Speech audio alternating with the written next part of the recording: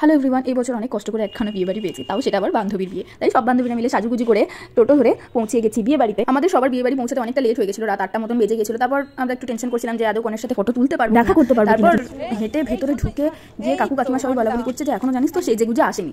তো ঢুকেই কিছুক্ষণ দাঁড়ানোর পর দেখছি আমাদের পিকুরানি সেজেগুজে এসেছে। আসলে ওর গায়ে হলুদ পর্ব একটু দেরি করে শেষ হয়েছে তাই ওর রেডি হতেও টাইম লেগেছে। তবে রাত আটটা কিন্তু অনেকটাই টাইম কিন্তু কিছু করার নেই। তো যাই হোক এদিকে ফটোশুট পর্ব আর গিফট দেওয়া নেওয়া পর্বও শুরু হয়ে গেছে।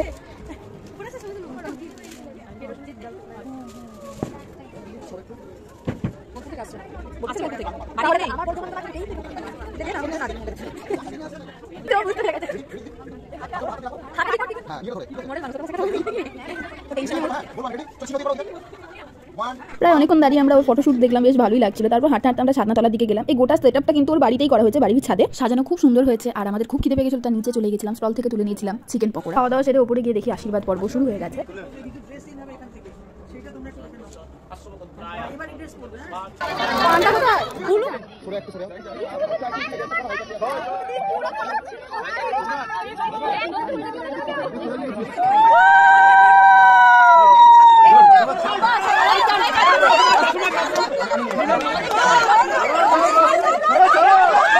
আরে ওইদিকে লোক বেশি এদিকে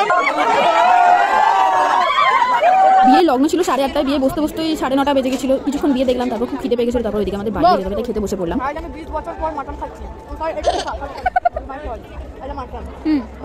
হয়ে খাওয়া দাওয়া সেরে বেরোতে বেরোতে এগারোটা দশ পনেরো বেজে গেছিল আর পাশেই যেহেতু ডিভিসি তাই এখানে ঠান্ডাটাও প্রচুর আর তখন টেম্পারেচার ছিল কিন্তু বারো ডিগ্রি রাস্তাঘাট পুরো ফাঁকা মনে হয় শুধু আমরাই হাঁটতে হাঁটতে যাচ্ছিলাম মোড়ের মাথা অব্দি যেহেতু টোটো পাচ্ছিলাম না এই ধোঁয়া বার তো মুখে ধোঁয়া বার ধোঁয়া অনেকক্ষণ পর ফাইনালি আমরা টোটো পেয়ে গেছি। রাখির বাবা টোটো করেই যাচ্ছি, আমরা তিন বান্ধবীতে মিলে, আর আমাদের আরেক বান্ধবী পাইল সে তার বাবার বাইকে করে চলে যাচ্ছে। আর বিয়েতে কিন্তু পিকুকে খুব সুন্দর লাগছিল। এমনিও দেখতে সুন্দর, আর বিয়ের সাথে তোকে আরও সুন্দর লাগছিল। আর ভিডিওটা তাহলে আমাদের কয়েকটা ফটো দিয়ে এখানেই শেষ করছি। ভিডিওটা কেমন লাগল সেটা আমাকে অবশ্যই কমেন্ট করে জানাবে। ভালো লাগলে একটা লাইক করে দেবে। দেখা হচ্ছে খুব তাড়াতাড়ি পরের একটা ভিডিওতে আর ততক্ষণের জন্য, টাটা!